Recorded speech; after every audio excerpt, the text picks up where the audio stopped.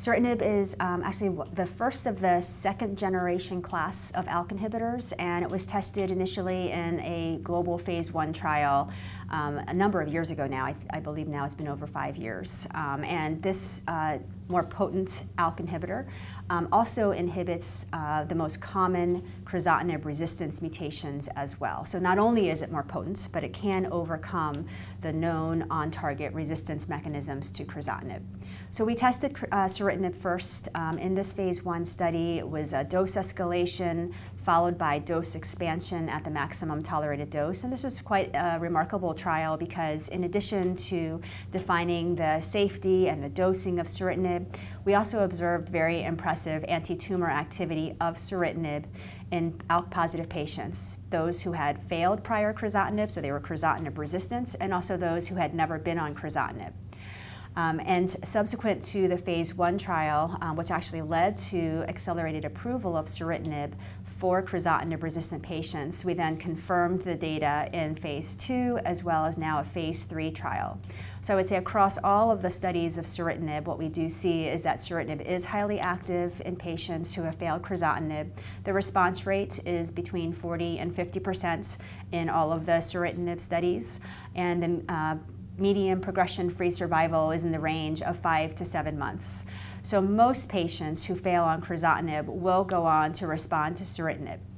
In the phase one study, we also looked specifically at the resistance mechanisms that were driving relapses on crizotinib, and what we saw was that patients with resistance mutations like the gatekeeper mutation within ALK, but also patients without ALK resistance mutations did all seem to respond to ceritinib, a more potent ALK inhibitor. So we believe that ceritinib and other more potent second generation and third generation ALK inhibitors really are a new standard of care for patients when they fail crizotinib. So some of the patients may become uh, intolerant to crizotinib due to toxicity, either liver toxicity or permanent toxicity. So the common thing to do is to switch to another TKI, tyrosine kinase inhibitor, namely either ceritinib or alectinib.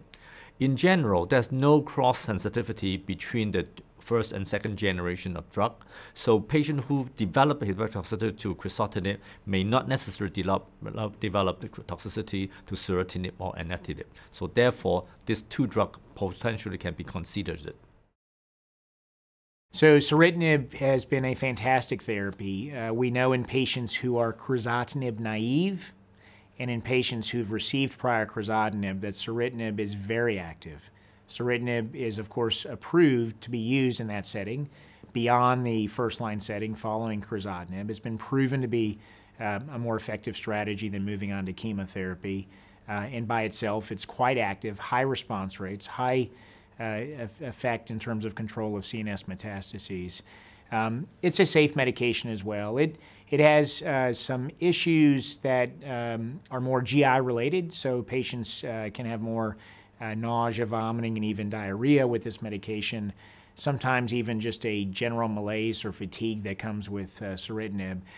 But what, what is common for practitioners who use ceritinib uh, are dose reductions. And so starting at the full dose of ceritinib, 750 milligrams, is, um, is achievable for some patients, but for a lot of patients, we just simply make dose reductions down to 600 milligrams, for example, we also do things like give it at nighttime or have patients take it with an antiemetic or with food. Uh, and there's data at this meeting in Vienna to show that uh, that's a, a, a, more useful strategy uh, for tolerability. So there are ways to adjust around some of these toxicities and allow patients to uh, achieve all the benefits of ceritinib. Many of us have stories of patients who've been on drugs like ceritinib, following long periods of good control on crizotinib, patients who've been on ceritinib for years doing quite well. Yeah, so we uh, at, at, our center in uh, in Nashville, we had the privilege of being involved in some of the earliest ceritinib studies uh, when uh, we were trying to understand the role of ceritinib, and so patients got access to this active drug uh, far before it was approved. And, and I am happy to report that we still have patients uh, on those agents doing quite well. In fact, I just saw uh, one of these patients uh, from another state just uh, a couple of weeks ago. We've had to make some adjustments in her care. That's a good example of uh, the kind of things that you do in real life. So we've had to lower her dose of medication. Actually, believe it or not, now going on, on to four years here, we've had to lower her medication a second time, even after doing so well on the first dose reduction for an extended period. Um, but she's doing well and continues, fortunately, to have good disease control. It's worth mentioning her because you've because we've we're discussing one of my patients uh, that uh, we've had to deal with issues like brain metastases during her care. So a good example of a patient who actually had a brain lesion at diagnosis was asymptomatic. We were allowed to put her on the trial with ceritinib. We got good control of that lesion for years until we found growth in that and a new lesion. We've treated those with stereotactic radiosurgery, controlled that, and she's maintained control systemically of disease with ceritinib, even at the dose reductions. So it's, it's uh, keeping somebody on a therapy but incorporating radiation at periods in her therapy to deal with issues like brain metastases. Um, a little bit different than how we normally treat lung cancer with just chemotherapy and moving on to another drug when someone progresses.